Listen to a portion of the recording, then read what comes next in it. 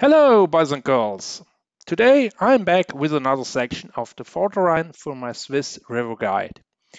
This is the uppermost section that I know, from its confluence with the Medelser Rhine at the camping ground of Disentis to Cumpadrials. The Vorderrhein coming down from the Oberalp Pass comes out of a difficult gorge, seldom with enough water. The same is true for the Medelser Rhine as its water is deviated for hydropower. It is therefore very rare to find enough water for a put-in so far up. Not to worry though, as many creeks from both sides will swell the river and there are other opportunities for a later put-in. The uppermost is reached by driving through Disentis towards the Lukmanier Pass and then going down to the camping ground but passing it along the riverside. On the two occasions we found just enough water here we put in at the lower end of the camping site. It seems snow melt alone does not generate enough water, so we were lucky that the weather beforehand was warm and it rained heavily. Even so, it was barely enough and the first few hundred meters are very bony. Once the first bridge is reached, it gets better. However, here the river splits and you have to guess which side seems better. This first section can change drastically, which also affects its difficulty, along with the water level. It can be a steep whitewater 2 or even a technical whitewater 4. This time it was toward the upper end and I was confused uh, that I had to go back and check the video of the initial trip as this upper section was so different. On the left side at the rock cliff it goes around boulders. Depending on when the water from the right flows left, you might catch those even when going right, as we did on the first run. From the right, a first creek brings some water, but more importantly, also quite a bit of rubble. This made it quite interesting as the water was somewhat dammed and you had to find your way around the edgy boulders down the steep rapid. This is one of the sections that will change with every flood. The Acletta from the left then brings a considerable amount of additional water. If the level was too low, you should have at least 5 cubic meter per second at the put-in. It now becomes sufficient during late May and June for the put-in at the bridge below Disentis. You're getting here by driving past the train station and down to the river. From here on I have run the river quite a few times and the difficulties on the next section are considerably easier. Up here in Disentis, gold washing is a popular leisure activity. Therefore, you can see people in high boots shoveling sand at the gravel banks. At least on this run, difficulties remained high with the corner on the left side with a cliff and a rock plate in the middle.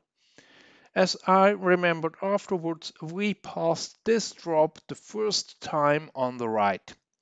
So you should be prepared for constant change here as well. Until the next bridge, there are many small creeks from both sides bringing on more water. The gradient is not too steep compared to the first section. There are still quite a few tight corners, rapids and potentially wood to be aware of. When the bed gets wider, it can become difficult to find the best route which is with sufficient water, especially when the river splits as well. At the bridge of Madernal, you might consider ending the trip as the section till Cumpadrials holds a white water for a rapid. However, you might also want to put in when planning to paddle the lower section to Trun or Tavanasa. Kilometer below the bridge, the power station of the side valley Russein once again brings considerable amount of clear water. 300 meter further down, the rapid starts when a creek from the right usually only trickles in, but it is responsible for all the boulders and rubble in the section. Similar to the first rapid, this can change. You can get out at the right side and take a look, or optionally portage. I usually split this rapid in two parts. The first one seems more intimidating as the boulders are big. I try to hold to the right and then switch over to the middle for the eddy behind the large rock in the middle. For the second part the river splits and in recent years the right side was more or less cut off and had not enough water. That is why I switched toward the middle so I can continue left.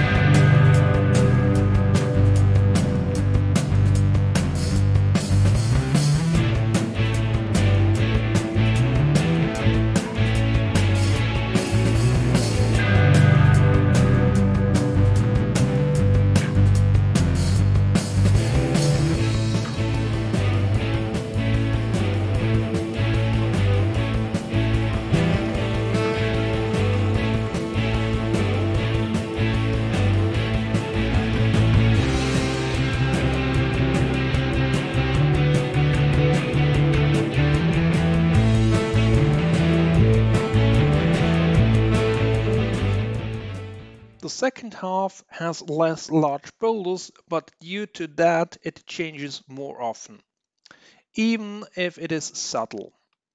The end of the rapid is around the corner and hidden by the trees on the island in the middle.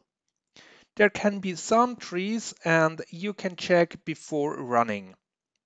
I would say that my default strat is on the left side, but due to constant changes here, you have to show a bit of flexibility. Once arrived at the bottom, it once more becomes easier, however still technical. Soon afterwards you reach the bridge above Campo where you can disembark or continue on. For the section from here on down I already have another guide. You can find additional information down in the description. If you found this guide helpful, please consider leaving a like and if you don't want to miss the next video, hit the subscribe button. Until then, goodbye!